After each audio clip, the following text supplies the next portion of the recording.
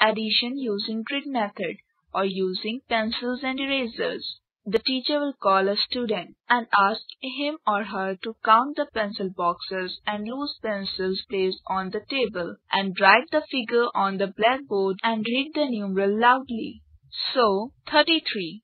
Now she will add more pencil boxes and loose pencils and ask the child to count it again and read the numeral loudly. So 54. Now she will place the number of pencil box and pencil together and count them again. 80 plus 7 is equal to 87. Finally, she will place the figure in proper place of tens and ones and add the figure.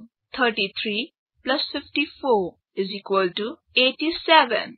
To make the concept understand by counting and addition of two-digit numbers.